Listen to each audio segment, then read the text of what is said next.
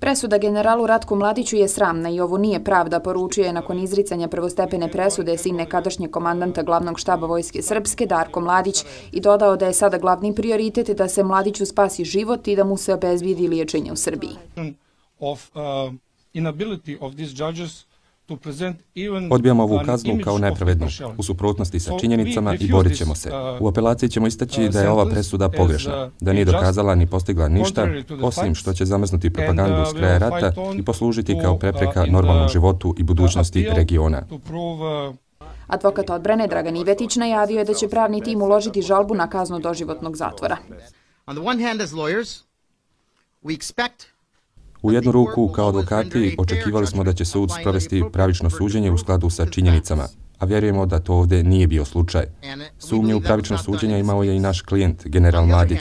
Dvojica od trojice sudija je produciralo krivicu i prije početka suđenja, a tu je i niz drugih razloga. Glavni tužilac Haškog tribunala Serge Bramerc komentarisao je presudu poručivši da su stvarni heroji u stvari žrtve. Ova presuda je važna jer je Mladić prva osoba protiv koje je podignuta optužnica i posljednja koja je osuđena u Hagu, kaže Bramerc. Presuda generalu Ratku Mladiću komentarisana je i u Srbiji. Ovo je očekivano, kaže predsjednik Srbije Aleksandar Vučić. Ja sam predsjednik Srbije i kao predsjednik Srbije čini mi se da nemam pravo da tumačim nepravosnažne presude.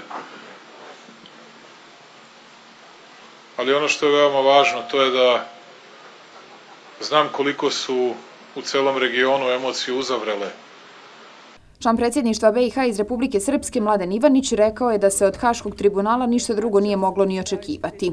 On je rekao da nikako ne treba odustati od podrške generalu Mladiću i da mu treba pružiti pomoć u žalbenom postupku.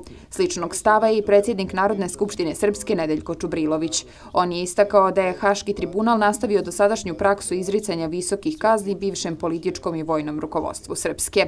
I predsjedavajući predsjedništva boračke organizacije Srpske Duško Miletić smatra da je izricanjem doživotne kazne zatvora generalu Ratku Mladiću u tribunalu konačno umrla pravda. Predsjednik Republičke organizacije porodice zarobljenih poginulih boraca i nestalih civila Nedeljko Mitrović izjavio je da presuda nije iznenađujuća.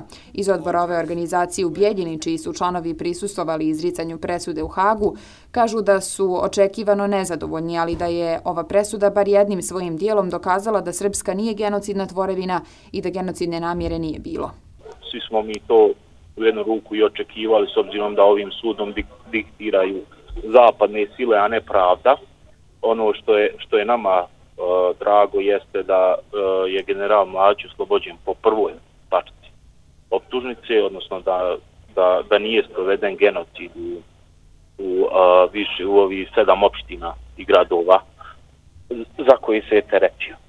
Na nivou BiH nešto drugačiji komentari. Predsjednica udruženja Majke Srebrenice Munira Subašić najavila je da će tužiti Srbiju i Republiku Srpsku. Rekla je da je Ratko Mladić osuđen gotovo za identične stvari za koje i Karadžić, osim razlike u dužini kazne. Predsjedavajući savjeta ministara Denis Zvizdić izjavio je da je važnost sudske presude daleko sežna za budućnost cijelog regiona.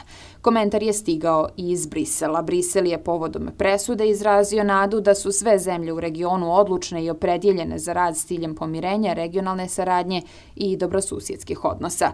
Očekujemo od svih političkih lidera da iskažu poštovanje žrtvama za stupanjem i poštovanjem ovih opredjeljenja, ističe se u izjavi za javnost port parola Evropske unije Maje Kocijančić.